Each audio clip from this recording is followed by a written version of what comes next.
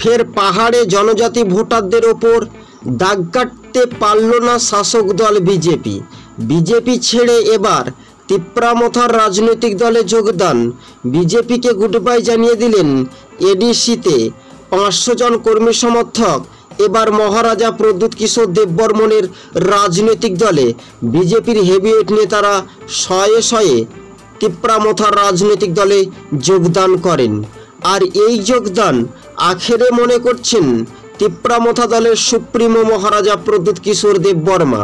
তেইশ নির্বাচন, ত্রিপুরা বিধানসভা পাহাড় যার ক্ষমতা তার। কুড়িটি আসনে কি মহারাজা দাগ কাটতে পারবে?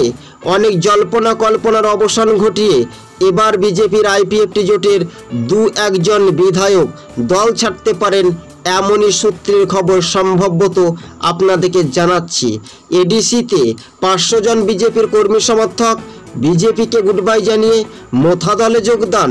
আর এই যোগদান মহারাজা প্রদ্যুৎ কিশোর দেববর্মনের হাত শক্তি প্রয়োগ হলো বলে মনে করছেন জনজাতি ভোটাররা।